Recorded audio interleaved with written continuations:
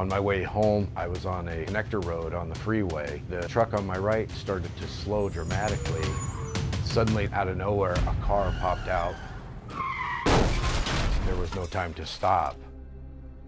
After the crash, I went on my phone and the Nexar dash cam had captured the event. My name is Matt Boothe. My wife and I are recently retired and enjoying the RV life traveling around the United States.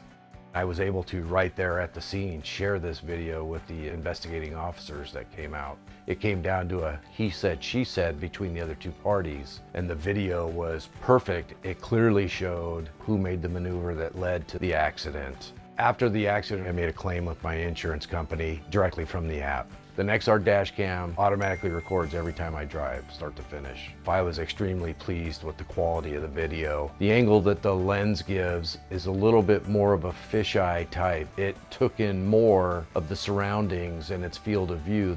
When I installed the Nexar dash cam, it took me no time at all. If I can set this up and install it, anyone can. It truly was that simple.